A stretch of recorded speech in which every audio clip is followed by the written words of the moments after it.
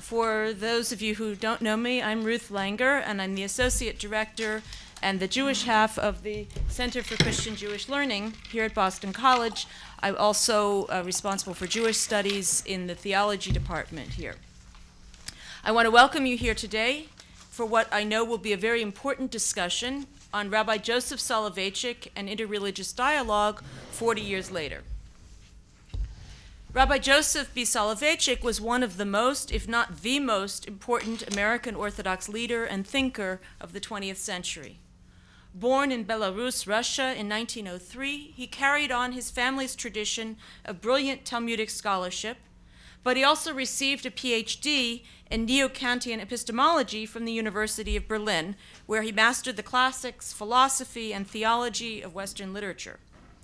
In the early 1930s, he accepted a rabbinic position in Boston, where he lived until his death in 1993. His influence, though, reached far beyond Boston, especially because from the early 1940s on, he also served as the Rosh Yeshiva, the rabbinic head of the Rabbi Isaac Elchanan Theological Seminary of the Yeshiva University.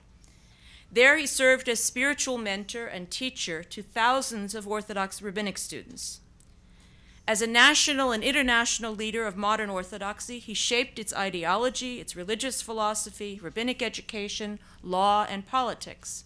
His legacy is such that today, 10 years after his death, he remains the unrivaled spiritual guide of modern Orthodox Jews, and he's known as Harav, the rabbi. For the modern Orthodox community, his word was and is authoritative. His teachings are part of the traditions of the oral Torah with which one engages as one seeks to navigate our now 21st century reality.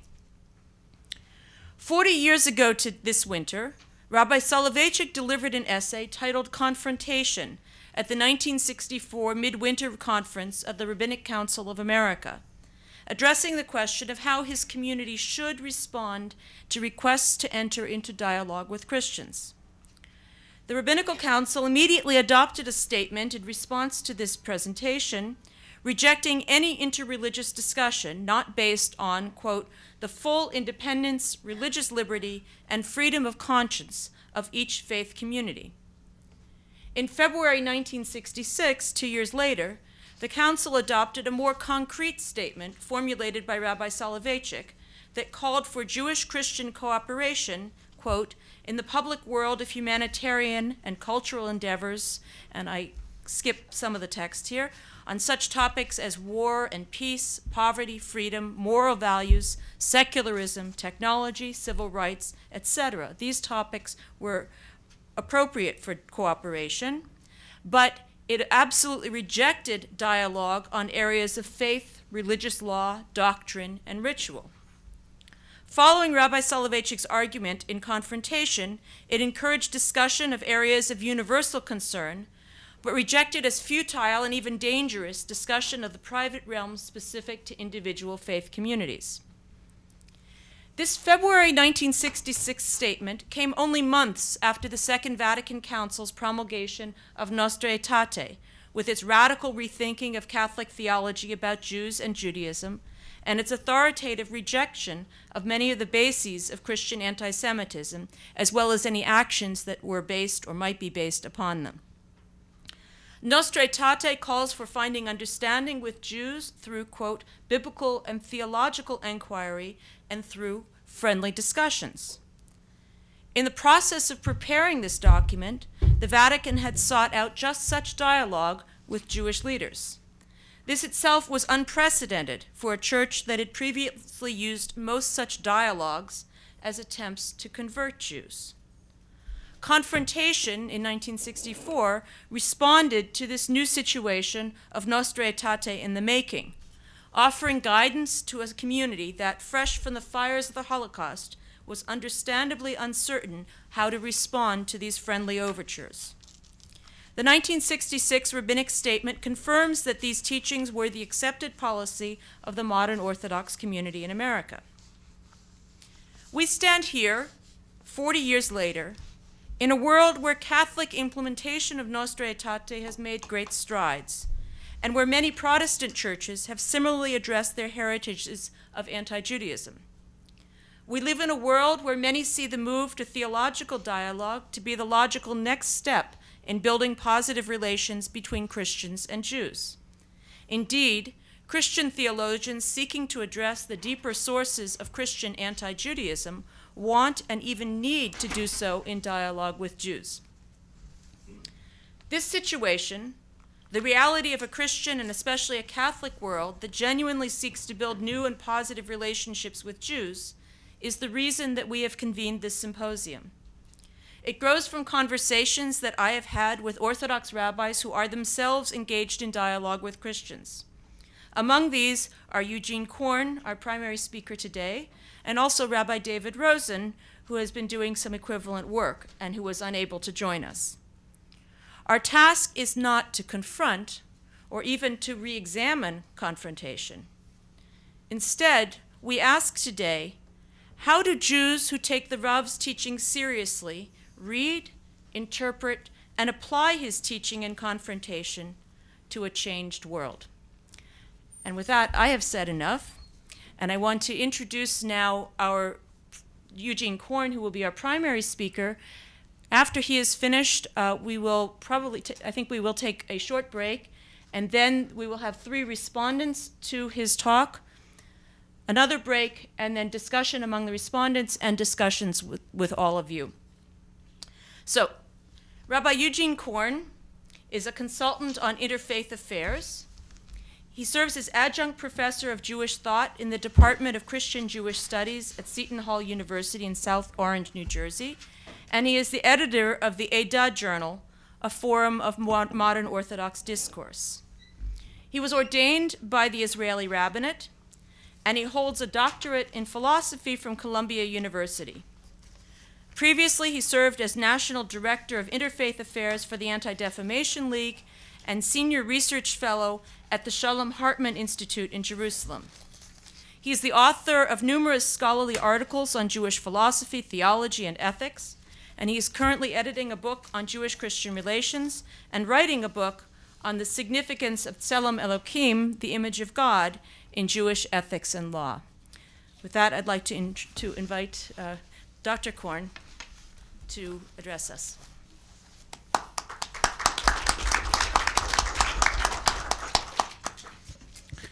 Thank you, Professor Langer, and thank you to, Bo to Boston College and the Center for Christian Jewish Learning uh, and to Professor Cunningham, a good friend and good colleague.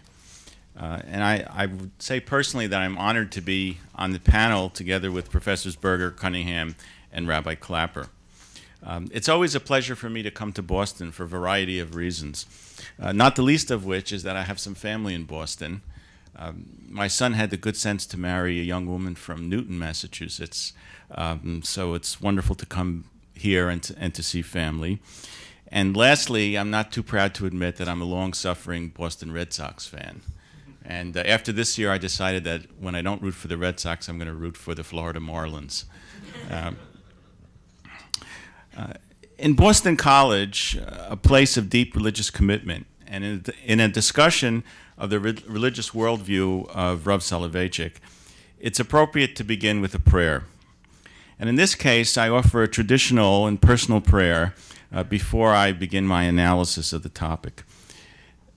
The Babylonian Talmud in Brachot records that one Talmudic sage, Rav Nechunya ben Hakana, used to say a prayer when he entered the Beit Midrash, the study hall. He used to say that when I enter the study hall, I pray that no error should occur through me. And when I leave the study hall, I express thankfulness for my lot. I personally pray that I do not in any way misrepresent the teachings of Rav Soloveitchik today or the positions of the Catholic Church in my remarks that follow.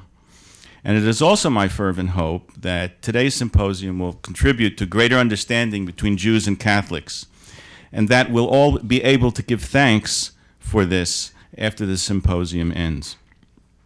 Now, before I begin my analysis, I hasten to make a correction uh, to a recent statement that appeared in the press over the weekend.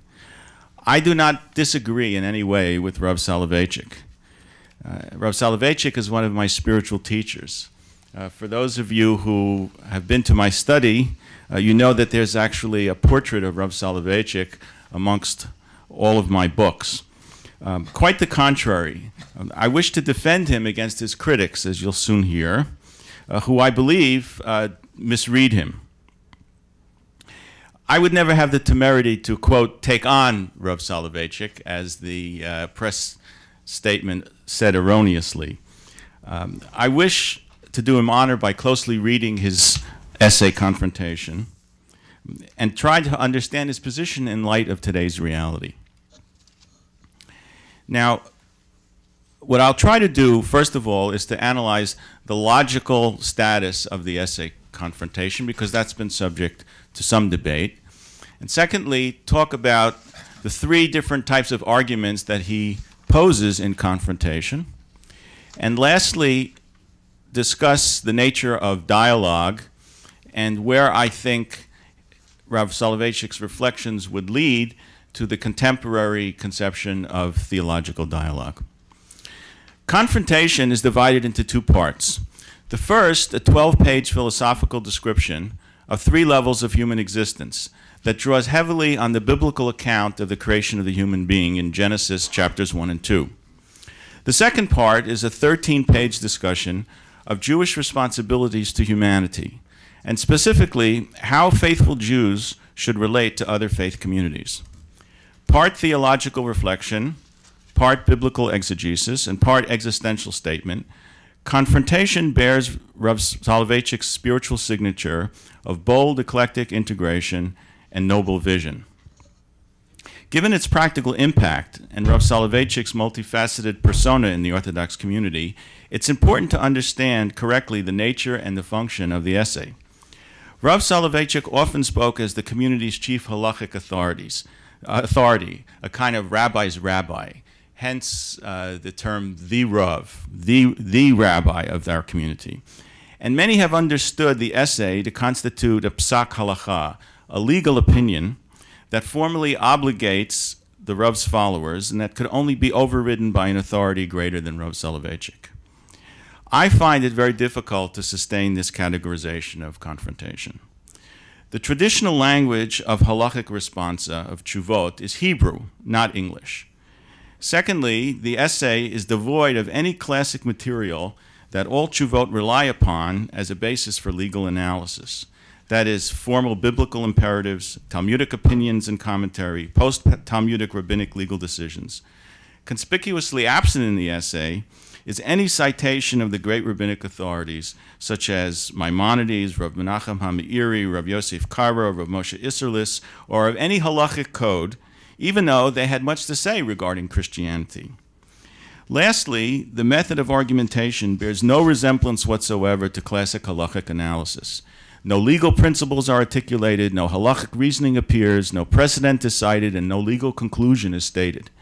The formal halachic terms asur, forbidden, or mutar, permitted, never appear in the essay, nor is there any mention of the terms halacha or mitzvah. Now, if you want to really see the contrast between confrontation and halachic responsa, um, it's very conspicuous if, if you compare the essay to what indeed is a formal tshuva, a formal responsum, on the question of meeting Catholics for the purpose of interfaith dialogue. That tshuva was offered by Rabbi Moshe Feinstein. It took Ra Rabbi Feinstein not 25 pages, but merely one column to close the issue. In two paragraphs, he ruled that interfaith dialogue violated a Torah commandment, and he stressed the absolute prohibition of such activities for Jews.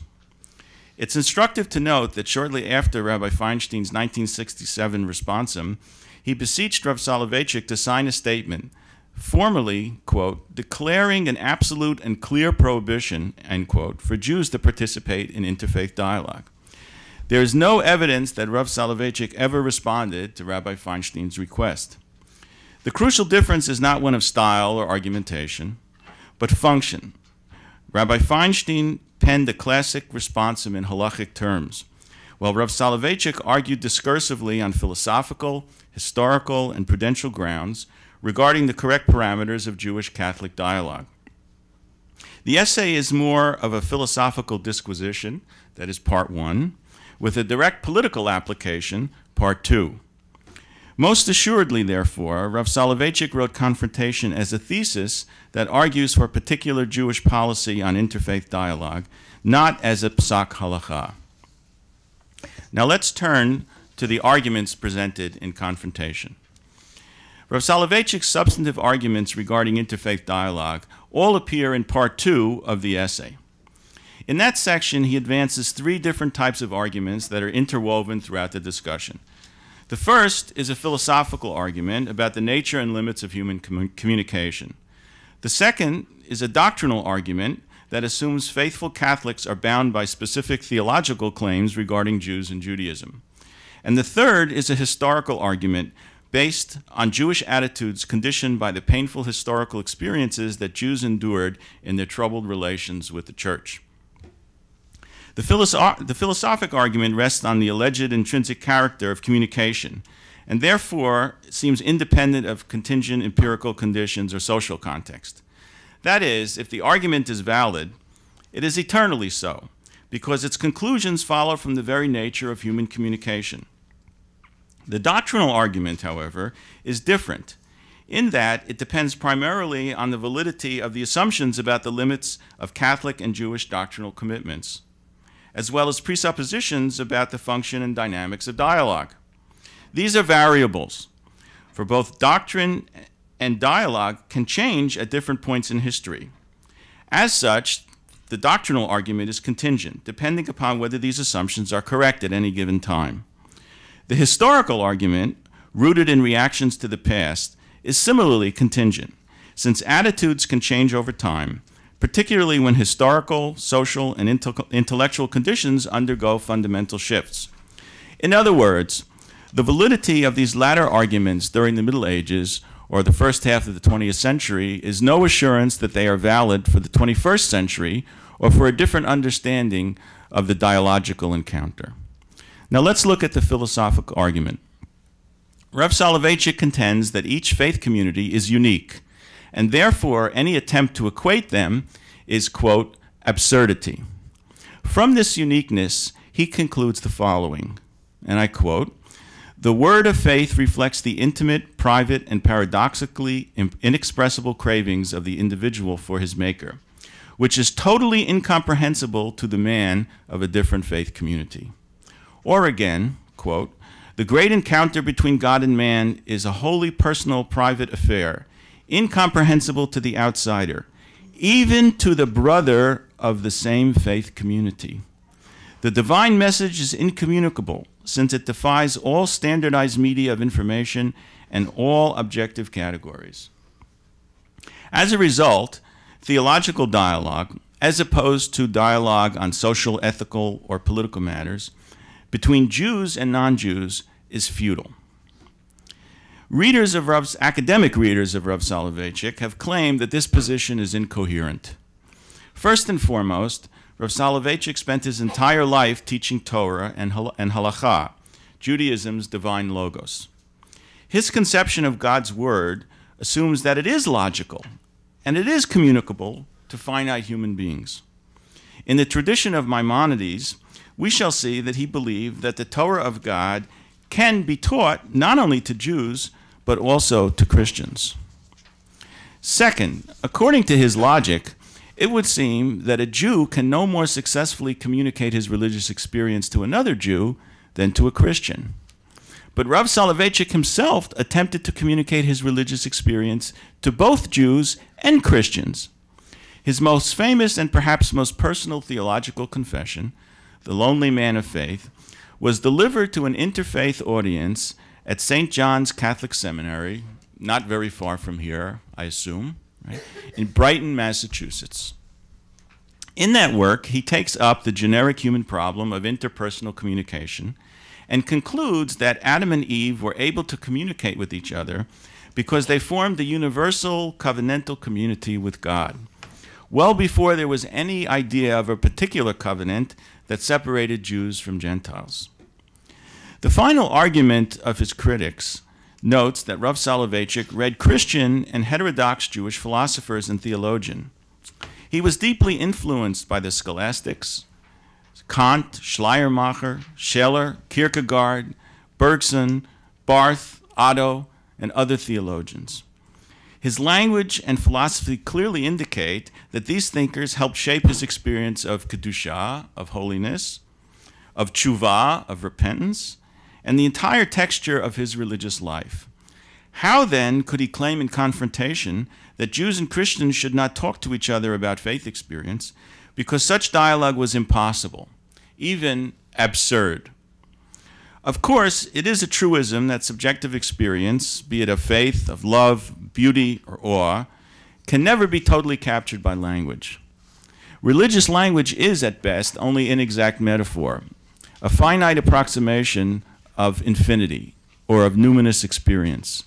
Yet surely linguistic expression is valuable as a helpful intimation.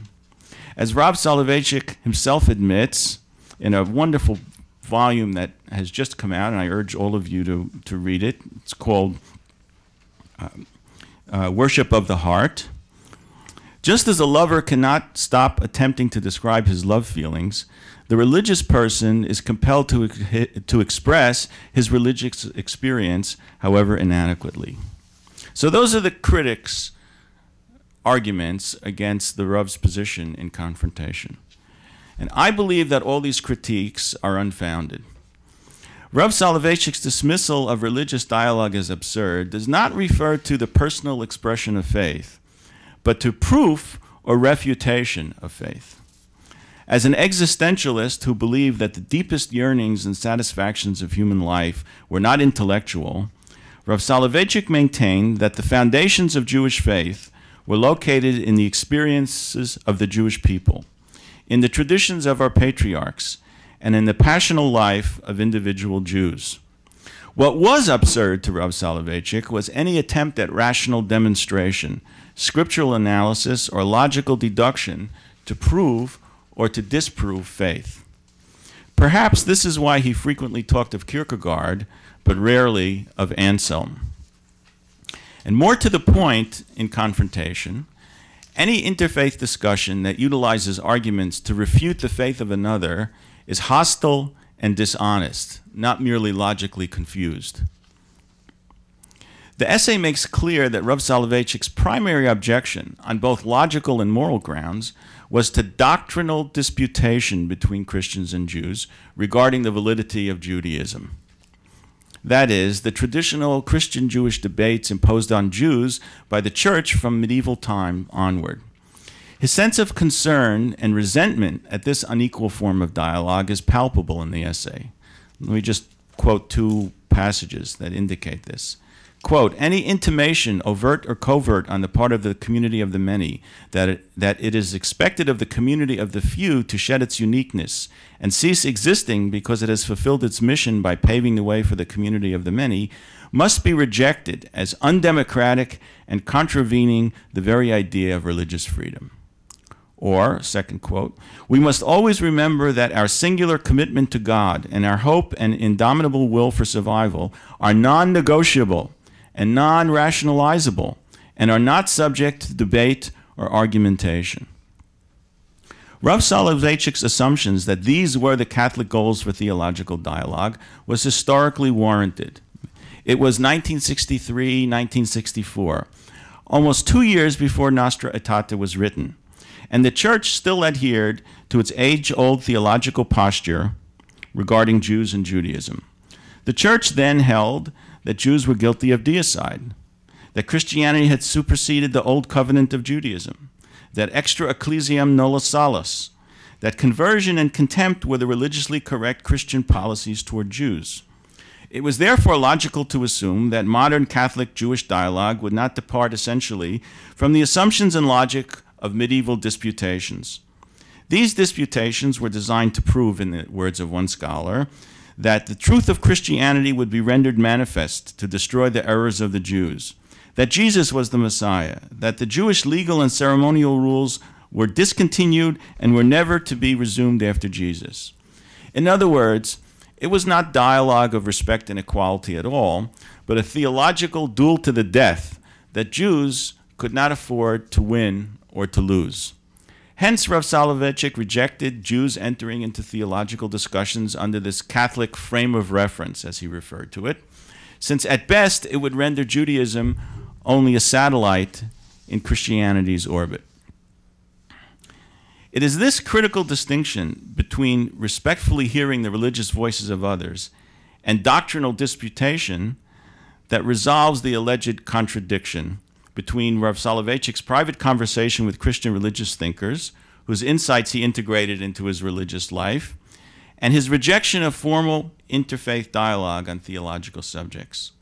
The former posed no threat to the validity of his faith, while he assumed that the latter was targeted at undermining Jewish faith commitment. To employ the favorite technique of Rav Soloveitchik's brisker Talmudic tradition, there are two concepts of theological discourse. One is authentic dialogue, which is, which is the free expression and is governed by legitimacy of difference and mutual respect. The other is polemical disputation, which is futile in its illogic and objectionable in its triumphalism. So let's turn to the doctrinal argument. Rav Soloveitchik's understanding of the traditional Catholic doctrine brought to light what he called the incommensurate frames of reference that rendered Catholic Jewish theological discussion absurd. He believed that the Catholic faithful would necessarily bring supersessionist assumptions to their conversations with Jews. They would assume that Christianity had replaced Judaism, that Judaism had lost its continuing spiritual vitality, that it no longer had a divine mission to the future of humanity, and that contemporary Jews who refused to accept Christian doctrine were simply blind to the fulfillment of God's covenant. By virtue of this, quote, Catholic frame of reference, unquote, Catholics would have no choice but to view Judaism as inferior and incomplete, and hence attempt to convert Jews to Christianity. Trying to harmonize this worldview with the Jewish commitment to the living validity of Judaism and Torah, and with the pride in Jewish survival, was indeed a futile and dangerous exercise from which no good could come. As a result, Rav Soloveitchik stipulated in confrontation four specific preconditions for Jewish Christian dialogue. One, there must be an acknowledgement that the Jewish people is an independent faith community endowed with intrinsic worth, to be viewed against its own metahistorical backdrop. Two, the Jewish singular commitment to God and hope for survival are non negotiable and not subject to debate or argumentation. Three, Jews should refrain from recommending changes to Christian doctrine, for such recommendations would lead to reciprocal Christian recommendations for changes to Jewish belief. Change must emerge autonomously from within, for, quote, non interference is a sine qua non for goodwill and mutual respect, end quote. And lastly, each community has, must articulate its position that the other community has a right to live, create, and worship God in its own way, in freedom and in dignity. Both communities have a right to an unconditional commitment to God that is lived with a sense of pride, security, dignity, and joy in being what they are. This precludes trading favors on fundamental matters of faith, or reconciling differences out of an obligation to compromise.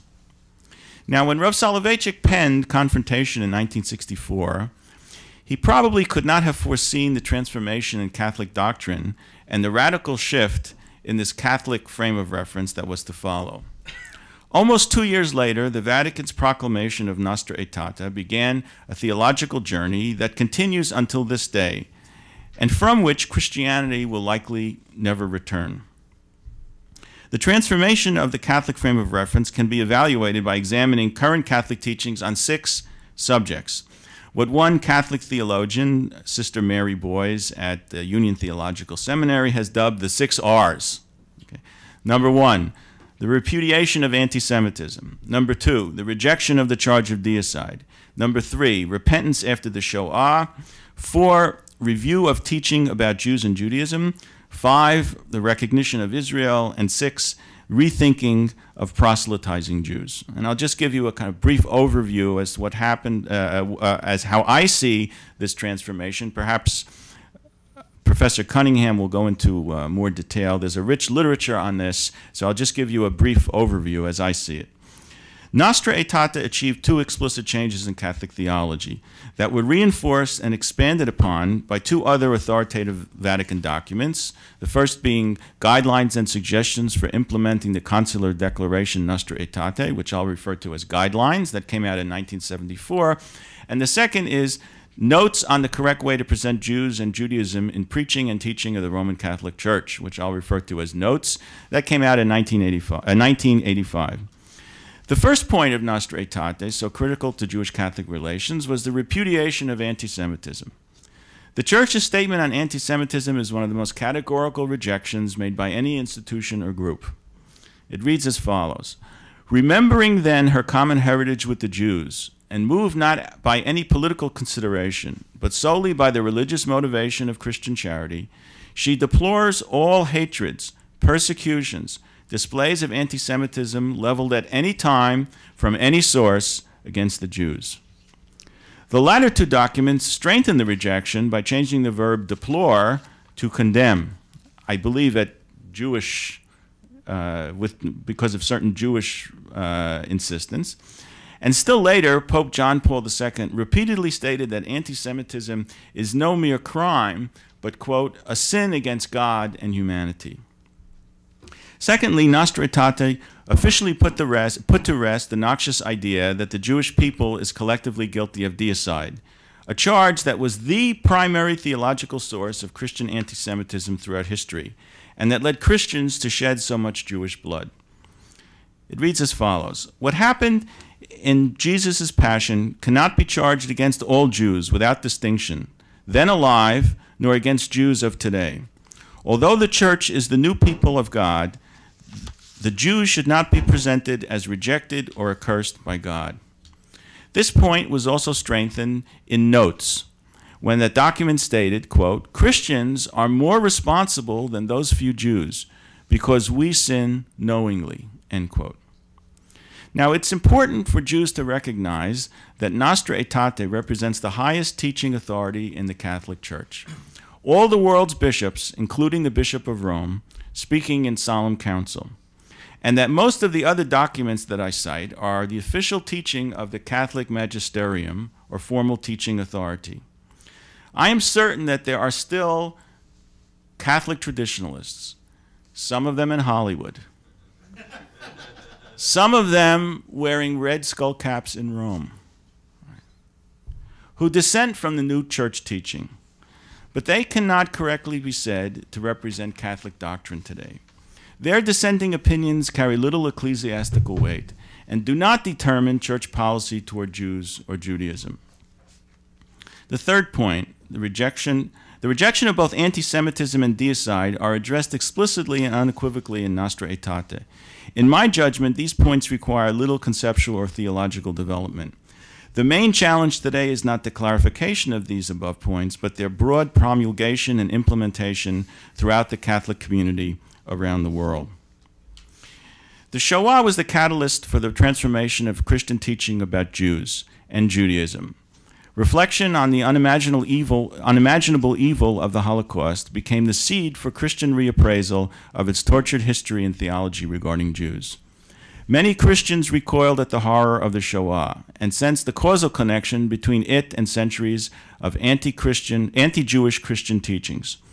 Nostra Aetate does not mention the Holocaust, but Guidelines refers to it as the historical setting of Nostra Aetate, while Notes mandates the development of Holocaust curricula in Catholic education to help in understanding the meaning for Jews of Shoah and its consequences. The most direct admission of Catholic guilt and responsibility for its role in the Shoah came in a remarkable statement by the Catholic bishops of Germany in 1995 and the French bishop's statement, the Declaration of Repentance, that appeared in 1997. The Vatican issued its formal statement, we remember, in March 1998. This document is far from perfect and has been justly and, uh, and unjustly criticized by Jews and Catholics alike. It expresses itself with classic Vatican diplomatic ambiguity, what Sister Boys has termed church speak. And unlike the statements of the German and French bishops, I believe it equivocates on the critical issue of the church role in the Shoah. Notwithstanding these problems, We Remember marks a clear recognition of the complicity of Christian authorities in the Holocaust. Utilizing the Hebrew term tshuva, so dear to Jews, it states the need for Christian repentance and sincerely appeals to Jewish people for forgiveness. Pope John Paul II later reinforced the Catholic recognition of guilt when he visited Yad Vashem Memorial and the Kotel in, in Jerusalem in March of 2000. He said the following God of our fathers, you chose Abraham and his descendants to bring your name to the nations. We are deeply saddened by the behavior of those who, in the course of history, have caused these children of yours to suffer. Asking forgiveness, we wish to commit ourselves to genuine brotherhood with the people of the covenant. Let me say a few things about the significance of the recognition of the State of Israel. Already in 1956, Rav Soloveitchik articulated the theological implications of the State of Israel for Judaism and Christianity in his essay Kol Dodi Dofek. The return of the Jewish people to their biblical homeland and, permanent, and the permanent existence of the State of Israel forced a de facto recognition upon the Christian world that Jews were not destined to be cursed and humiliated because of their rejection of Christianity. The existence of Israel constituted an empirical refutation of Augustine's doctrine of wandering Jews functioning theologically as negative witnesses to the truth of Christianity. When the Vatican refused to recognize the State of Israel until 1994, Church officials claimed that its position was purely political. Recognition would endanger the welfare of Christians in Arab lands, and the Vatican policy was to withhold recognitions to states that lacked fixed borders. While these political claims were undoubtedly true, Rav Soloveitchik understood that there was something deeper than politics at stake. Lack of recognition was tantamount to denying that Jews had the right, that they had the right to go home to their biblical homeland, because of the doctrines of contempt and supersessionism that nullified continuing Jewish covenantal integrity were still operative in church theology. It took 29 years after Nostra Aetate for the church to recognize the state of Israel in June 1994. However late, such recognition constituted, willy nilly, as Rav Soloveitchik used to like to say, de jure recognition of the Jewish people's right to its biblical homeland. As such, it is an implicit affirmation of the validity of the Jewish covenant and a repudiation of the Augustinian doctrine with its supersessionist denigration of Judaism. The existing Vatican recognition of Israel is now official church policy and testifies to another monumental shift in the Catholic frame of reference. Theologically, Nostra Aetate opened the door to new thinking not merely about, not only about Jews, but about how Catholics should understand Judaism. In a remarkable exegetical move that was pointed out to me by Professor Cunningham, Nostra Aetate rejected the plain meaning of Paul's epistle to the Romans, chapter 12, and affirmed the continuing validity of God's biblical covenant with the Jewish people. It said as follows Jews remain most dear to God because of their fathers, for he does not repent of the gifts he makes, nor of the calls he issues. A strict reading of this statement might yield a salutary claim about Jews alone, but not their covenant with God, that is, Judaism. Moreover, Nostra Aetate explicitly presents the church as the new people of God. One could continue to cling to the doctrine of supersessionism as meaning that the Jewish covenant is no longer value, no longer valid. But this logical possibility was foreclosed in the explicit statement of Pope John Paul II in 1980 that later became official doctrine when it was incorporated into notes. He said, Jews are the people of God of the Old Testament, which has never been revoked by God. The permanence of Israel is a historic fact to be interpreted within God's design. It remains a chosen people. The Pope's words imply that the permanence of Israel is a positive theological value, not merely a neutral fact of history. In other words, it is God's design that Israel's chosenness has not been canceled or superseded. This reading can be explosive for traditional Christian theology. How far reaching are its implications? Does it mean that Jews, does it mean that for Jews, Judaism is the highest fulfillment of God's design? much as Christianity is the highest fulfillment for the rest of humanity? If so, Does Judaism have the same power of saving grace as does Christianity?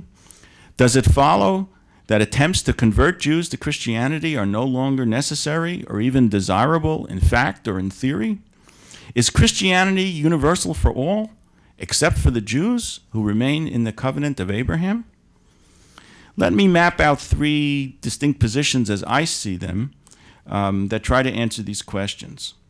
Following the trajectory of recent church statements about Judaism, a number of American Catholic theologians, some of them at Boston College, have gone just that far by answering yes to all of these questions.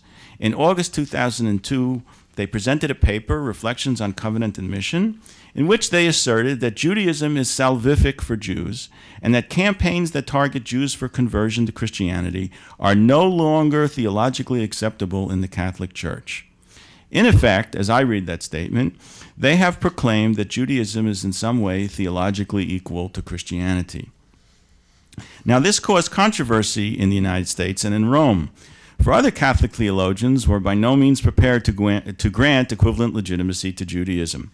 Cardinal, Cardinal Walter Kasper, an ardent supporter of Catholic Jewish dialogue, who, as president of the Commission for Religious Relations with the Jews, is the Vatican's highest authority in charge of Catholic Jewish relations, has equivocated on whether, in fact, Judaism is salvific for Jews in the way that Christianity is for Christians.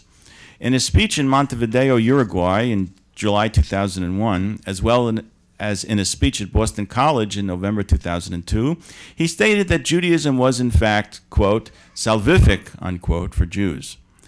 Tellingly, this important statement was omitted from the official transcript of his Montevideo speech. Perhaps he had gone too far for some in Rome, and even for himself, for he later distanced himself from the position espoused in the document Reflections on Covenant and Mission, and he announced that that paper did not represent his position. Perhaps he is still working out a more refined formulation of his thoughts on this matter. Most importantly, however, Cardinal Kasper has consistently renounced any attempt at proselytizing Jews to Christianity, both in fact and in theory. In both Jer- Jerusalem and Boston, he argued forcefully that Christianity must approach Judaism with equality and respect for differences, and that there is no mission to the Jews, either in dialogue or outside of it. There is only mission with the Jews, a third and less equivocal position is held by Cardinal Joseph Ratzinger, prefect for the Congregation for the Doctrine of the Faith at the Vatican. He adamantly rejects the notion of theological equality or pluralism. He denies any limitation on the unicity and universality of the salvific mission of Jesus, or any implication that Christianity is not the highest fulfillment of God's word to all on earth. Quote, the Sinai covenant is indeed superseded, end quote.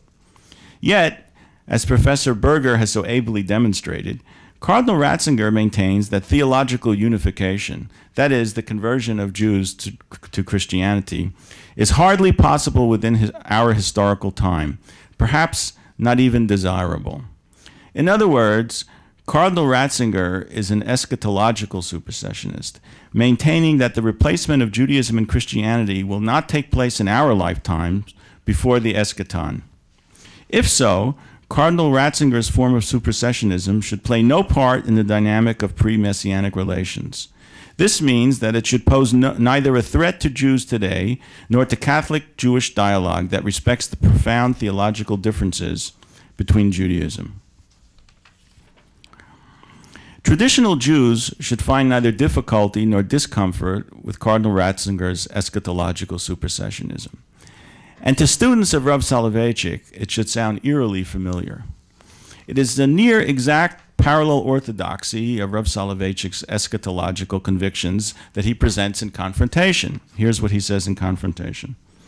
Only a candid, frank, and unequivocal policy of reflecting our unconditional commitment to God, believing with great passion in the ultimate truthfulness of our views, praying fervently for and expecting confidently the fulfillment of our eschatological vision, when our faith will rise from particularity to universality, will impress our peers of the other faith community. Rav Soloveitchik, too, believed that the truthfulness of his faith will spread universally at the end of time. Thus, we arrive at an important and somewhat comforting divine paradox. Cardinal Ratzinger's supersessionism forms not a threat in dialogue, but an actual protector of the rights of Jews to articulate their own creed. That is, when dialogue is conducted with equal rights and respect, the orthodoxy of Catholic faith logically entails the validity of Orthodox Jews expressing their own parallel dreams and convictions. Whatever the proper trajectory of current Catholic thought is regarding supersessionism, whether it's the wide arc of the American Catholic theologians or the more acute angle of Cardinal Ratzinger, the most important facts for Catholic Jewish dialogue and for Rav Soloveitchik's legitimate concerns are that today there is no Catholic missionary organization for Jews, and that conversion has no place in contemporary Catholic approach to dialogue with Jews. In the words of Cardinal uh, Kasper, dialogue implies witness of my deepest faith, a witness which proposes but by no means imposes one's own faith. On the contrary, it implies respect for every other conviction and every other faith. In dialogue, Jews give witness to their faith, and Christians give account of the hope that they have in Jesus Christ. In doing so, both are far away from any kind of proselytism. Let me turn briefly to the historical argument that Rav Soloveitchik presents. In 1964, barely two decades separated Jews from the Christian from the centuries of Christian contempt that culminated in the Shoah. The wounds were still raw. Whatever theological or philosophical issues stood in the way of rapprochement with Christendom, the Jewish people were in no existential condition to overcome the problematics of the past. In fact, the Jewish people had then yet to come to grips with the full impact of the Holocaust for themselves and with the full implications of the State of Israel. Lastly, I might add that the traditional Orthodox community was uncertain of its faith and of its ability to withstand the onslaught of modern values and sociology. In other words, 1964 was a time of internal healing of the Jewish people, introspecting, introspection for the Jewish community, and great guardedness for orthodoxy. In this state of existential and historical pain, Rav Soloveitchik alludes to the problems of dialogue for Jews at this time. Non Jewish society, I quote, non Jewish society has confronted us through the ages in a mood of defiance, as if we were part of a subhuman objective order, separated by an abyss from the human. Quote, we have not been authorized by our history, sanctioned by the martyrdom of millions, to even hint to another faith community that we are mentally ready to revise historical attitudes, to trade favors pertaining to fundamental matters of faith, or to reconcile some differences with them. It is now 40 years later, and as in all human relationships, timing is critical. Perhaps we still cannot make theological or moral sense of the Shoah but our historical and existential position has changed. The final solution, the wounds of the final solution, are still with us. Yet we have begun to rehabilitate ourselves physically and spiritually. Christianity is no longer our aggressive physical or ideological enemy. Jews and Christians face the same mortal threat from radical Islam. And perhaps today the Jewish people is better able to relate to those Christian faithful who display no triumphalist posture toward us. Rav Soloveitchik speaks of two separate problems. One, trading favors on matters of faith, and two, revising historical attitudes. Faith is precious, and here again, Rabbi Berger is also quite correct. Faith must never be sacrificed on the altar of social acceptance or of Western etiquette, and any such demand by others is the paragon of disrespect and denigration. Historical attitudes toward Christianity are quite another matter. Here, there's no timeless standard of correct. Of course, some Jews may feel the pain is still too great for venturing out into the world, but many feel otherwise. Ultimately, this is a matter of subjective judgment, and there is no objective method to determine whether it is too soon to redeem the past by attempting to build a better future through positive engagement with the Christian world. Rav Soloveitchik and the RCA were, were correct in rejecting any debate of private, private religious commitment. All argumentation, disputation, and attempted refutation of the basis of faith are zero sum games between antagonists. These are exercises that Jews must shun. This position was true in 1964, and it is true today. Yet a different concept of dialogue has emerged. It focuses on the phenomenological expression of one's spiritual experience in the presence of others who are committed to mutual respect and forswearing proselytizing motive. It does not attack the grounds of faith. Some have categorized it as the expression of a religious anthropology. It would seem that such a conception would satisfy Rav conditions for theological engagement, namely, one, acknowledgement of the Jewish people as a vital faith community, two, non-negotiability of any of Jewish faith commitment to God, three, mutual respect and non-interference in the faith of the other, and four, agreement that each community has the right to live, create, and worship God in its own way, in freedom and dignity.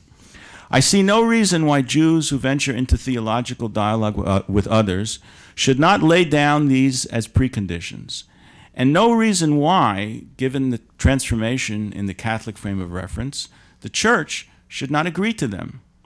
If we follow Cardinal Kasper's understanding, dialogue is not the antagonist, antagonistic confrontation of Jacob and Esav, of which Rav Soloveitchik spoke in 1964 but an expression of the natural human need for sharing, for catharsis of one's deepest religious beliefs, and for spiritual clarification with understanding and empathetic listeners. I believe this is what in fact occurred that afternoon in Brighton when Rav Soloveitchik presented the Lonely Man of Faith to Catholics and Jews. None of the objectives present, uh, objections presented in confrontation apply to that special event nor, I believe, do they obtain in current theological dialogue, dialogue that's conducted with authentic yet respectful frames of reference. Now, let me end with a few observations about the value of theological dialogue. The loss of one third of the Jewish people in the Shoah, the security of Israel, assimilation, anti Semitism, and the alienation of so many Jews from their spiritual heritage weigh heavily upon Jews today.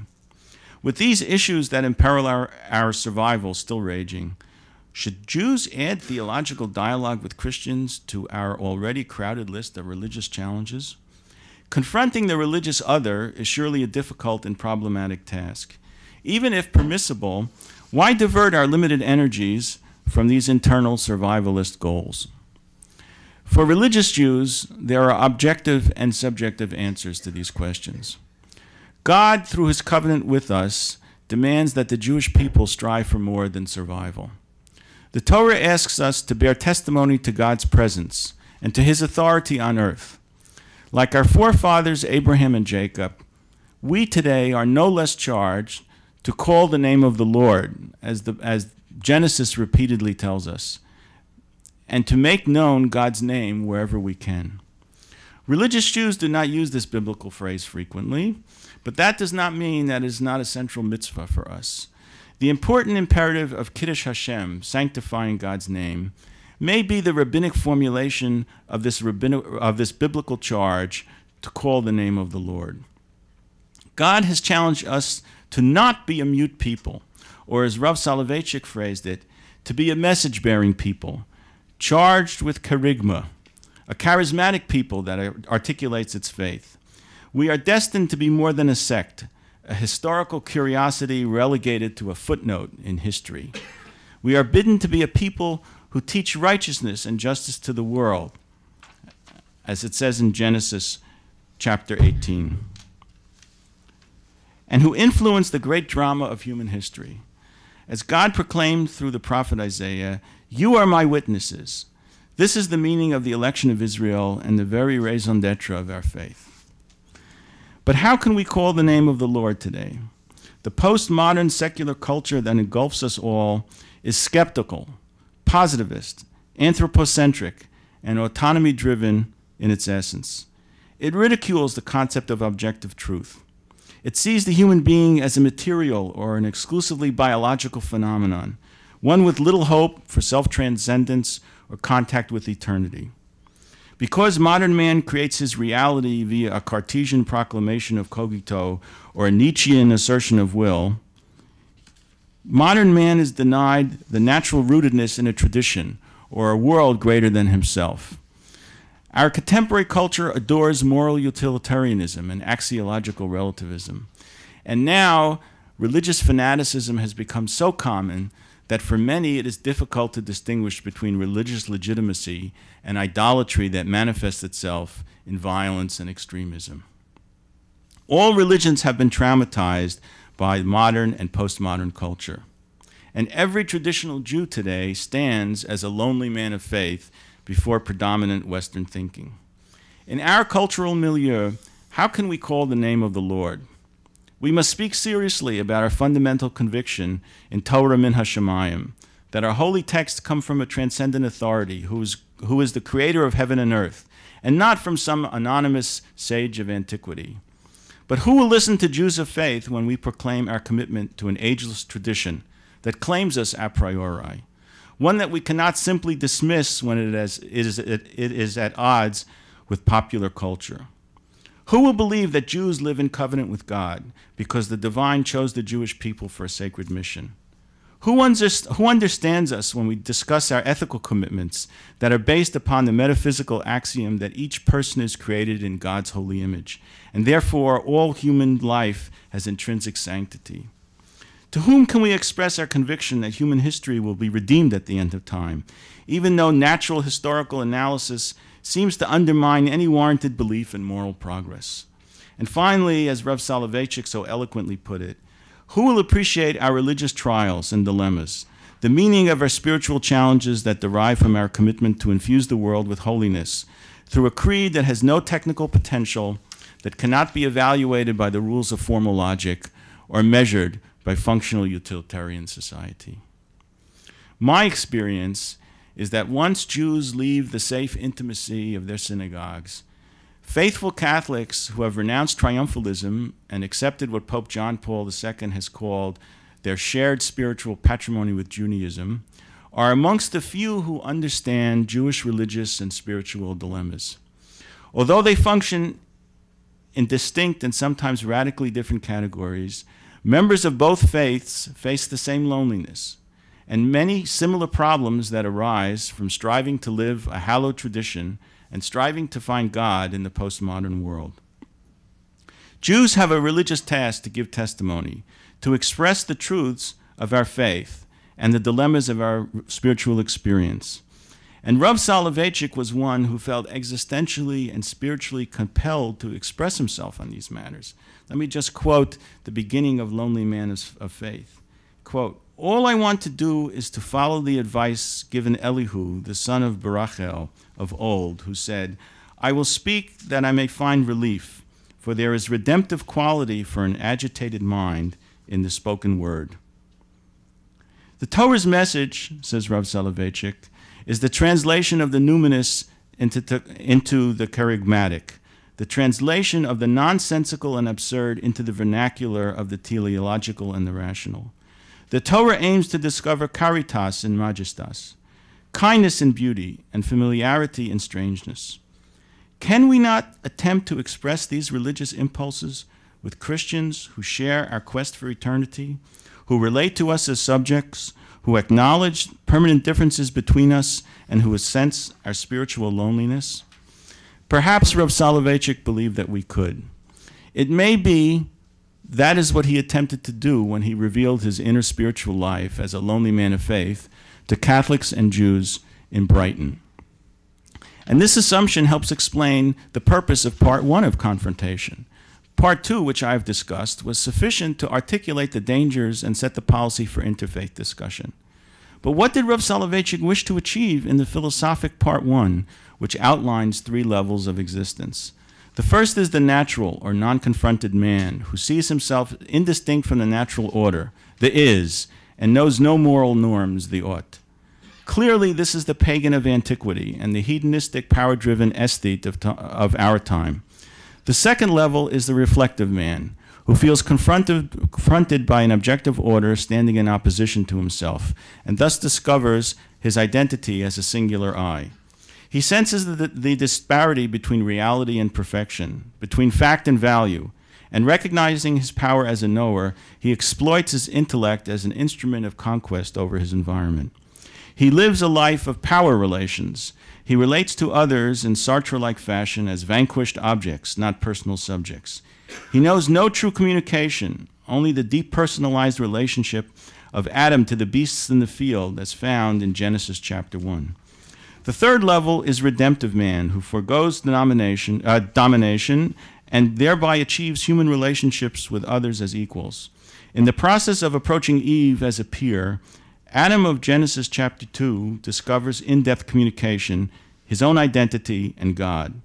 Through Adam and Eve, though Adam and Eve remain distinct, they, remain, they retain their independent existential integrities.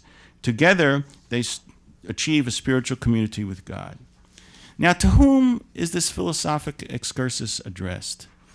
Its invocation of two Adam types echoes Christian scriptures in Romans 5 and 1 Corinthians 15. Its typological reading of holy text is a classic Catholic exegetical technique, and its celebration of the Word as a mysterious, creative, almost cosmic force calls to mind the logos of the New Testament. For Rav Soloveitchik, who was au courant with Christian theology, these were no coincidences. Evidently, Rav Soloveitchik wrote part one with Christian theologians in mind. He clearly viewed Christianity with his, its historic drive to conquer Judaism and depersonalize Jews as functioning on the second level of being. If so, then it may be that Rav Soloveitchik was inviting the church to ascend to the third level of existence by recalling, recoiling from its posture of domination vis a vis Judaism. If Rav Soloveitchik could not have predicted the revolution started by Nostra, Nostra Aetate, perhaps he was able to dream of its possibility. Such an elevated level of existence would enable in depth communication and comradeship, although not existential union or dissolution of the profound differences between Jews and Christians. When two faith communities meet each other as redemptive communities, dialogue is logically possible and even spiritually desirable. I have argued that for the last 40 years, the Catholic Church has undergone a profound transformation regarding Jews and Judaism, a transformation from Rav Soloveitchik's second level to third level of existence. If so, like Adam and Eve, we can begin to forge a subject to subject relationship as a faith community to a faith community. Now, finally, some caveats are necessary. Because of our troubled history and disparate theologies, Jewish Christian theological dialogue is filled with pitfalls and problems. To guard against them, we should exercise care and explicitly agree on the preconditions and protocols of dialogue before beginning the precarious journey. Dialogue also does not progress linearly, and it is likely that Jews and Christians will experience both forward movement and withdrawal as Rav Soloveitchik was so fond of describing the spiritual life. Lastly, traditional Jews are largely unfamiliar with dialogue, and few are trained in theology, and therefore we need to proceed slowly and meticulously with consummate honesty.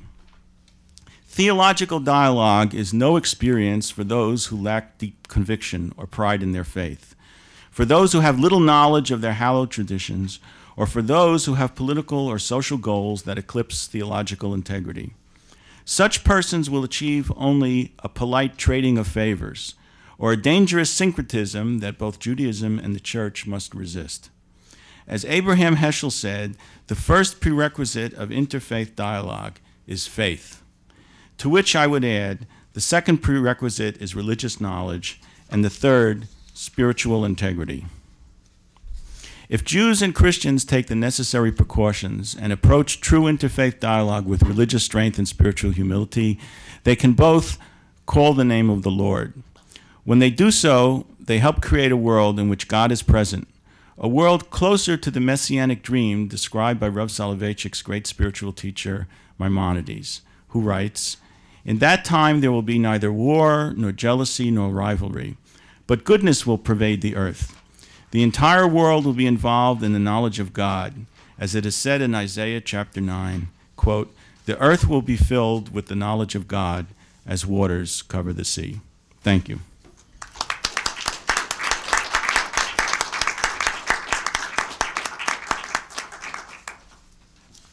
I think that we could probably all use a chance to stretch. Uh, there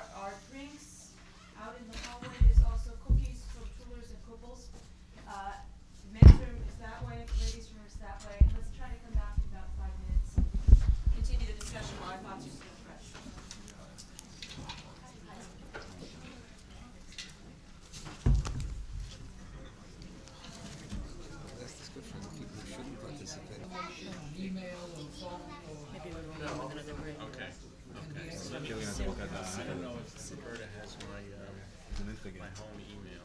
Zeminta again. Oh, not the one we said. I know, I know, She people wrote talking an about it. email. Oh, okay, well,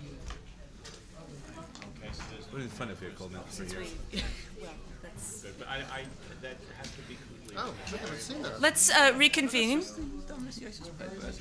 Oh, oh, oh, oh. And we have three That's the thing. scholars who have prepared, Yeah, yeah. who have prepared, uh, prepared responses to Dr. Korn's uh, presentation. And after we have those three responses, we'll judge by the number of sleepy eyes in the room whether we need another, another break. Uh, But if you do need to get up and get yourself some more caffeine, it will be there in any case. Uh, Let me Well, that's on our introduce the, they're going to walk out on you, Phil. Okay. Um, The, let me introduce the three respondents now, and then they will speak in turn. The first will be Professor David Berger, who is, and I forgot to ask him how to pronounce it, the Broeklundian It's a Dutch name, so I don't know how to pronounce it either. uh, professor in the history department at Brooklyn College, hence the Broeklundian, I presume. Uh, he, is, he studied at Yeshiva College and also has uh, smicha, his Orthodox ordination, from the Rabbi Isaac Elchanan Theological Seminary there. And he received his MA and his PhD from Columbia University. His expertise, as many of us know from his many, many books, is in the history of medieval Jewry and Jewish Christian relations, messianic ideas and movements, the intellectual history of Jews, and of contemporary Orthodox Judaism. So he can speak to many of the aspects of the Jewish Christian relationship from perspective of a historian, a practitioner, and a person who's very much involved in our world today. He's also the immediate past president of the Association for Jewish Studies, which, for those of you who don't know, is the academic association uh, for people engaged in Jewish studies, and is a member of the executive committee of the American Academy for Jewish, Re- Jewish Research, a similar organization, uh, and vice chair of the academic advisory committee of the National Foundation for Jewish Culture. Uh, those of us, those of you in the room who are my students, have looked at parts of at least one or two of David Berger's books. The most uh, I'll mention just a few of them. The Rebbe, the Messiah, and the Scandal of Orthodox Indifference uh, is the most recent, uh, looking at what's going on in the contemporary Lubavitch world. And uh, the one that shows up in my courses more often, uh, the Jewish Christian debate in the High Middle Ages, a critical edition of the Nizzahon Vetus with an introduction, translation, and commentary. So David will speak first. The second response will be from Rabbi Aryeh Klapper, who is a graduate of Yeshiva University uh, with an MA in Bible from the Revel School, the Revel School Graduate Studies there, and ordination smicha from the Rabbi Isaac Elchanan Theological Seminary. Uh, he is full time now at Harvard Hillel, uh, working as the Orthodox rabbinic advisor there, uh, and working on planning various levels of programming at Hillel. Uh, he came to my attention, though, not through that context so much, since I live on the other side of the river, uh, but through his work with the Summer Beit Midrash, which is a study opportunity mostly for college students uh, who spend the summer studying Jewish studies, studying Talmud intensively, moving around from one synagogue to another in the Jewish community. And we've had, in my community here in Newton, have had the pleasure not just of having the Beit Midrash be in residence, but of Rabbi Klappers uh, teaching us when he's in town. And uh, I know that he's a, a fine teacher and somebody whose ideas were pertinent and important to this context. Uh, third, and the hardest person for me to introduce is the person I work with on a daily, almost on a daily basis, is Professor Philip Cunningham, uh, who is the director of our Center for Christian Jewish Learning. Professor Cunningham has a PhD in religious education the, from the Institute of Religious Education and Pastoral Ministry here at Boston College, with an emphasis on Bible. Uh, relevant to our discussion here is that he has dedicated his career to the furthering of relationships between Catholics and Jews. And he is one of the leading voices on the American scene and in the international scene in Catholic Jewish relations. He's the author of numerous books, many of them with Shalom in the title. Uh, and many of these books are seeking to educate Catholics about the implications of the changing thinking of the Catholic Church, and also thinking about how to move these new teachings to higher and better integrated levels within Catholic thinking. Uh, so, with that, let me invite Professor Berger first to respond to Professor to Dr. Korn's uh, speech.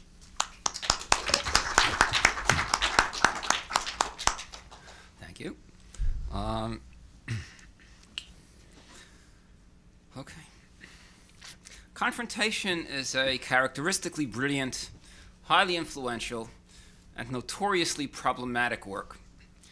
While Rabbi Soloveitchik addresses a number of pragmatic issues clearly and, to my mind, presciently, he also makes an apparently unqualified assertion that matters of religious faith cannot, in principle, be communicated. Thus, interfaith dialogue should not and really cannot deal with theological issues. Its only proper subject is the realm of the secular order, expressed in the pursuit of social justice and related concerns.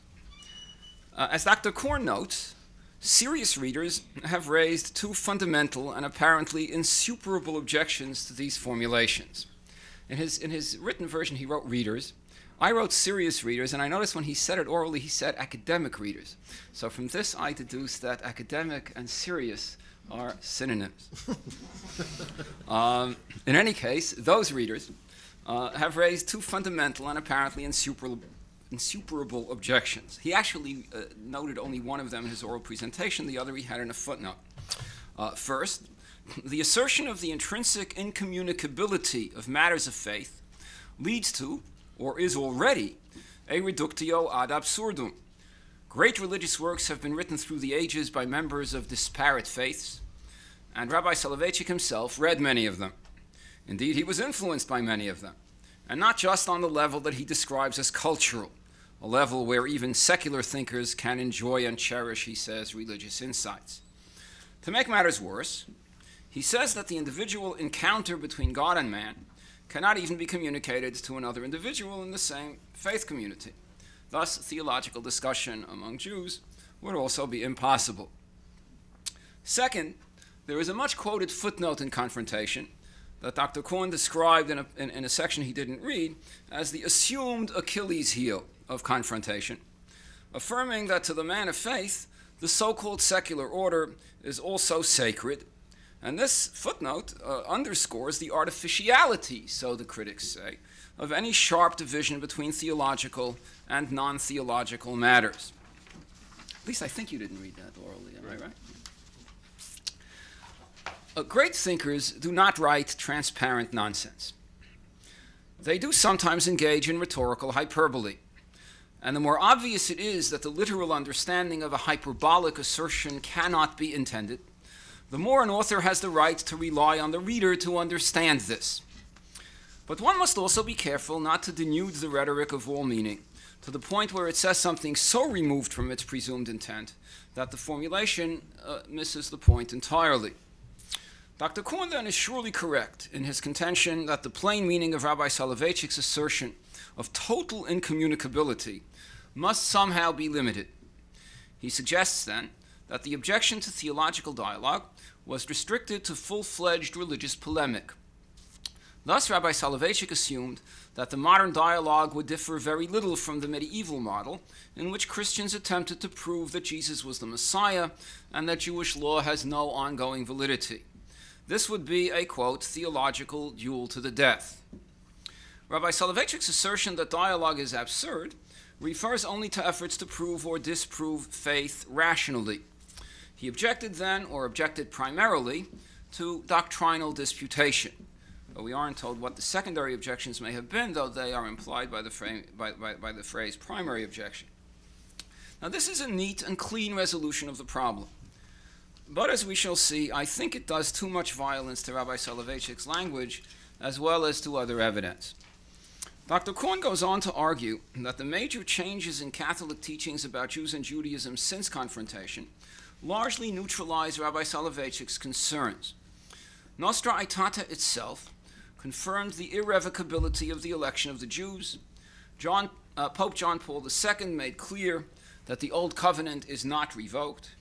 The establishment of diplomatic relations with Israel effectively recognizes the right of the Jewish people to its historic homeland. Anti Semitism has been repudiated and denounced. Mission to the Jews has been eliminated. Influential Catholics consider Judaism salvific for Jews. And even Cardinal Ratzinger, who looks forward to the acceptance of Christianity by Jews, does not anticipate this before the end of days. Thus, there is no triumphalism, no efforts to convert, no disputation, no serious problem. Let me begin by conceding that Rabbi Soloveitchik was not entirely unconcerned by the residual problem of outright polemic. Dr. Korn correctly notes that he uses the term debate at one point, and I agree that the term is revealing. It is also clear that Rabbi Soloveitchik assumed that he was dealing, even on the eve of Nostra Aetate, with a thoroughly supersessionist Catholicism whose adherents were interested in converting Jews. But I cannot agree that the full intent of confrontation is exhausted by depicting it as a warning against engaging in old fashioned disputation. First of all, Jews did not need such a warning. Second, it was perfectly clear even in 1963 and 1964 that the call for dialogue was not framed in disputational terms. Indeed, that is precisely why Rabbi Soloveitchik had to caution against it. Thus, the preliminary text, on, which was called On the Attitude of Catholics Toward Non Christians and Especially Toward Jews, uh, that was distributed at the second session of the Council on November 8, 1963, declared that, quote, since the Church has so much of a common patrimony with the synagogue, this Holy Synod intends in every way to promote and further mutual knowledge and esteem obtained by theological studies and fraternal discussions. Unquote. Third, uh, Rabbi Soloveitchik provided guidance to the interfaith representatives of the Rabbinical Council of America for many years after Nostra Aetate. By then, it was perfectly evident that interfaith dialogue was not Barcelona style disputation, that the parties were not engaged in medieval polemics about Isaiah 53 or the rationality of the incarnation. And yet, Rabbi Soloveitchik, on the whole, uh, held to his guidelines. The entire thrust of confrontation's inspirational rhetoric about the private character of the religious experience is incommensurate with an interpretation that sees it as a straightforward injunction against trying to prove your faith. The issue is explicitly communicating an experience, not demonstrating the truth of a position. In other words, though the existential character of Rabbi Soloveitchik's stance, correctly noted by Dr. Korn, is indeed inimical, I agree with this, is indeed inimical to the notion that religious positions can be definitively proven the larger argument is that the personal experience of faith cannot even be communicated. What can be communicated, I think, is intellectual apprehension of faith. The problem is that such communication is pitifully inadequate. This, I think, is the real thrust of Rabbi Soloveitchik's position. Of course, many elements of religious doctrine, of the content of religious belief, can be conveyed. The assertion that the great encounter between God and man cannot be communicated, applied by Rabbi Soloveitchik in the same breath even to individuals of the same faith, cannot mean that no theological discourse is possible. It means that the deepest level of the faith experience, uh, the deepest levels of the faith experience, are inaccessible to outsiders. And Rabbi Soloveitchik applies this to a collective of believers as well as to individuals.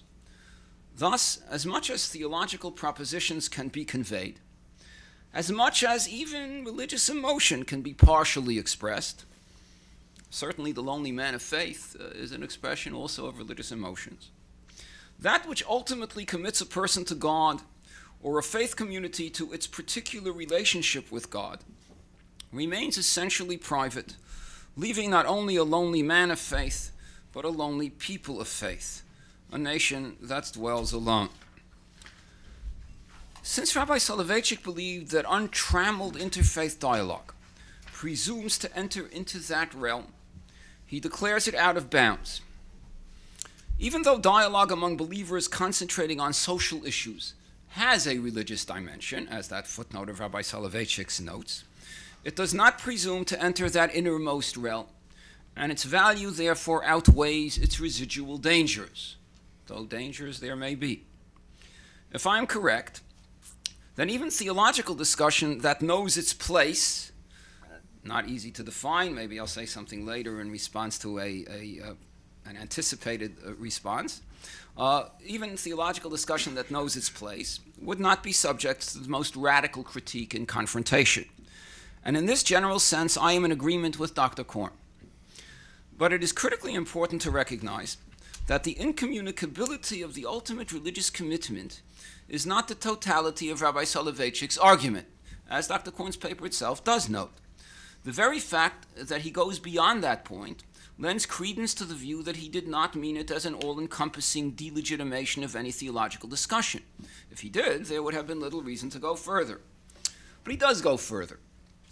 And here his argument moves from the extreme rhetoric of philosophical absolutism to the penetrating, pragmatic, prescient insights that make confrontation an essay of ongoing relevance.